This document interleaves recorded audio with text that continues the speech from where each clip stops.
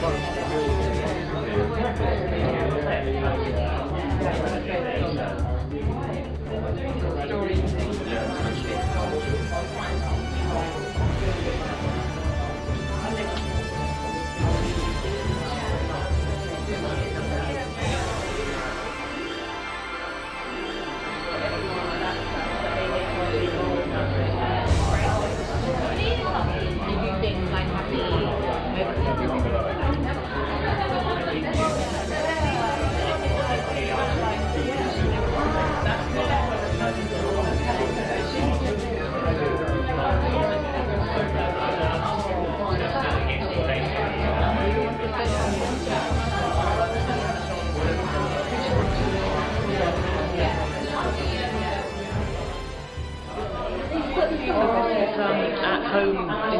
Continues, a project which we're really pleased to be having at the W3 Gallery.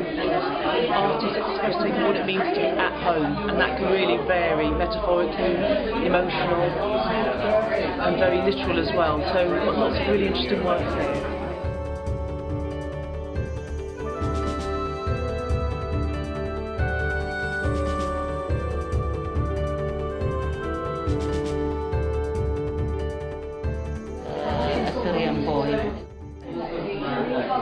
Painting.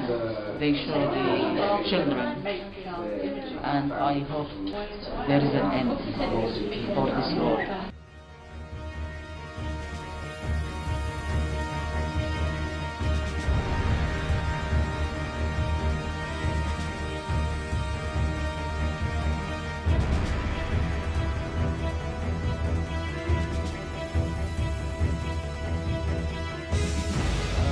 We're making a small film, a collage, a montage of faces and interviews of people, um, their art, um, and what it means to be in London Borough Ealing, at home.